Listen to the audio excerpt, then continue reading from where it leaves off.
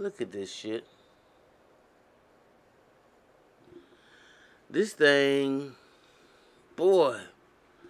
Yesterday I was somebody's baby.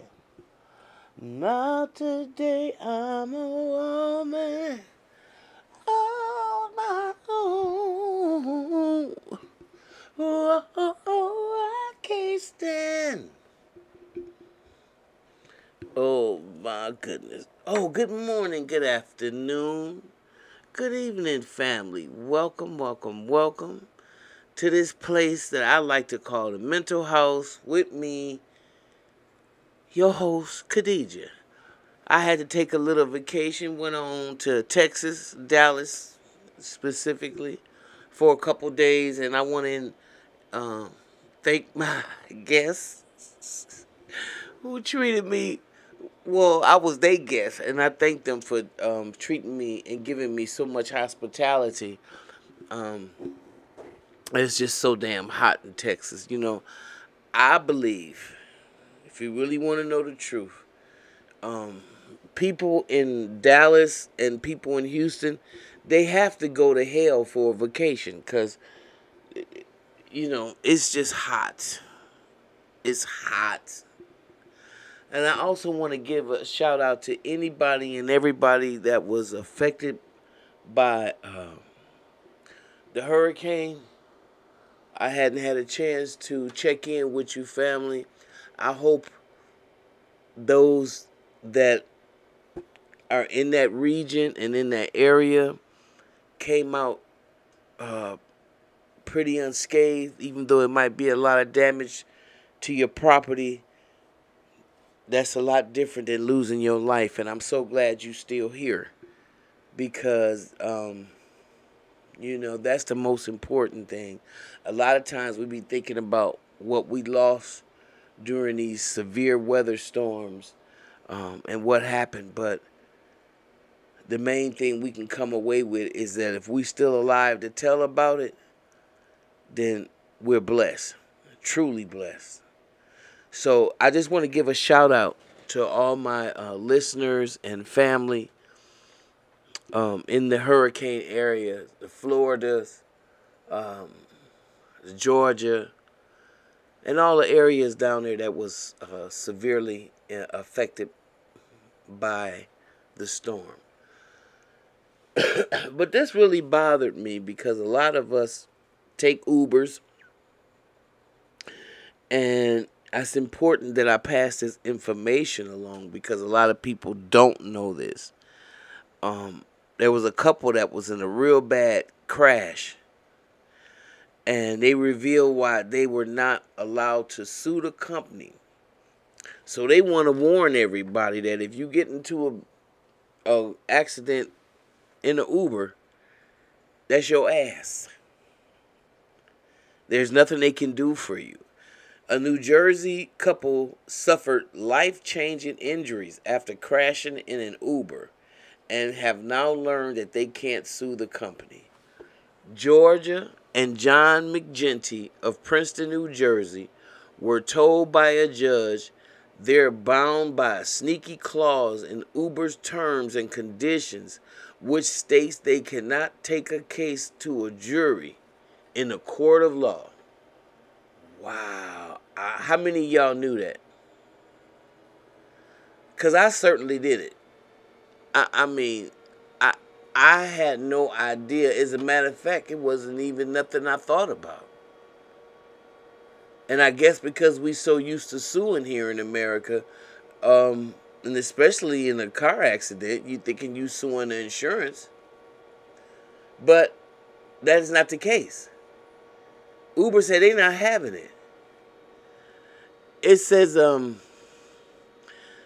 on March 31st, the couple uh, were passengers in a vehicle operated by an Uber driver, Jia Wen Zhang, when Zhang ran a red light and T-boned the vehicle, according to court documents. The McGintys suffered physical injuries. Georgia sustained cervical and lumbar spine fractures, rib fractures, a protruding hernia, of traumatic injuries and traumatic injuries to her abdominal wall and public floor. She underwent multiple surgeries and was unable to work from the car accident for a whole year. Y'all hear that? For a whole year, she was unable to work. Wow. Now, John, on the other hand, he fractured his sternum and his arm and wrist and had severe fractures that required him to have open reduction and internal fixation with a bone graft to just address the arm fractures alone. Wow. And now has diminished use and sensations in his left wrist. In February, the couple filed a lawsuit against the company Zhang, the, the driver Zhang hit. Uber filed a motion to compel arbitration, which is when they asked the court to enforce a contractual arbitration clause and require the parties to resolve their differences through arbitration instead of litigation.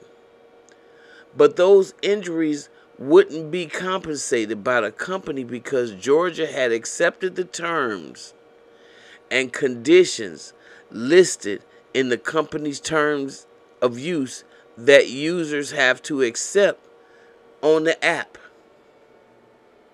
Wow. You always got to read that fine print.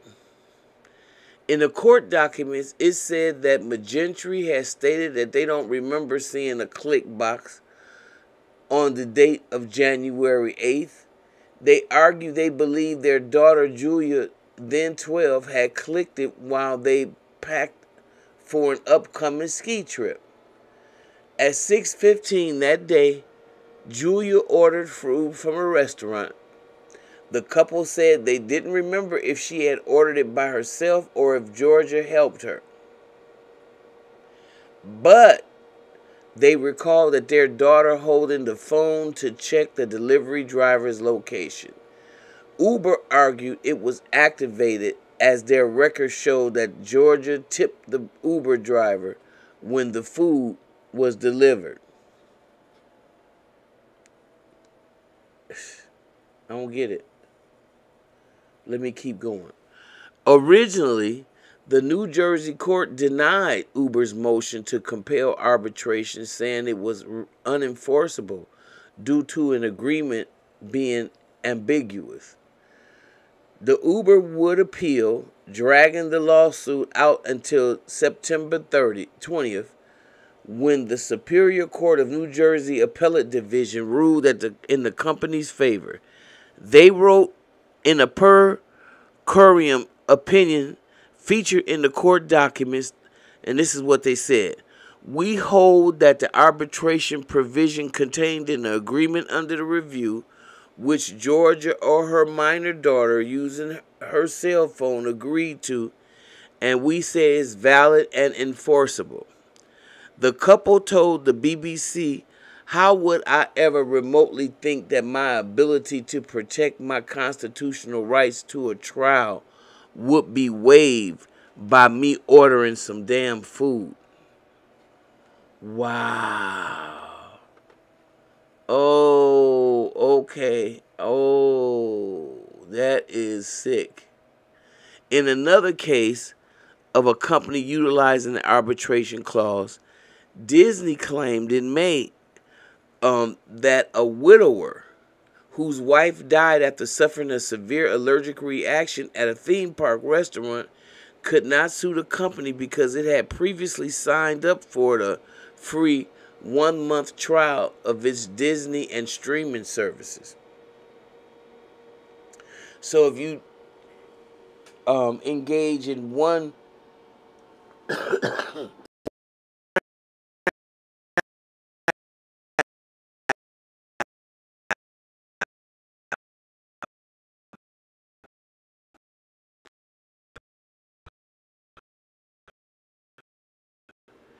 The family claimed that their waiter assured them that the food would be allergen free. Her husband, Jeffrey Piccolo, filed a wrongful death lawsuit in Florida claiming Walt Disney Parks and Resorts was negligent and failed to properly train their staff about food allergies. But Disney sought to dismiss the suit and argued it should instead be sent to arbitration because of the terms and agreements of its streaming service contract, which includes a binding arbitration clause. See, and this is going to start getting real, real difficult simply because everything and everyone is part of a corporation. Corporations uh, have literally taken over everything. Okay, the United States is a big corporation. A lot of people don't want to admit that, but it's the truth.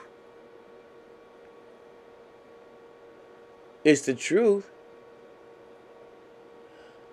So this is very interesting.